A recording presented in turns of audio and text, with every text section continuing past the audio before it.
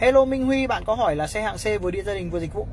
Xe nào nuôi nấng các thứ đồ đạc rẻ đúng không hạng C thì ở Việt Nam mình có uh, Hyundai Elantra Kia Cerato Toyota Atit, Mazda 3 đấy là những cái mẫu hạng C tiêu biểu. Nhưng mà nếu mà để chạy gia đình kết hợp dịch vụ thì à, mình nghĩ là rẻ nhất ấy, thì bạn mua Cerato mức giá hợp lý nhất này.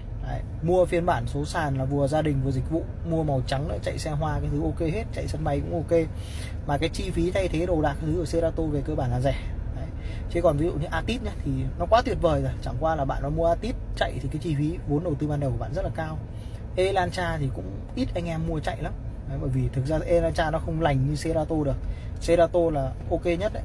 Còn Mazda 3 thì thực ra chạy thì chạy xe hoa thôi chứ mà chạy dịch vụ lôi Mazda 3 là chạy thì phí lắm anh em ạ mình không chơi cái trò đó được. Anh nhá, chốt phương án là Kia Cerato. Bạn có thể mua phiên bản 1.6 số sàn là một sự lựa chọn hợp lý, vừa chạy gia đình kết hợp dịch vụ được luôn.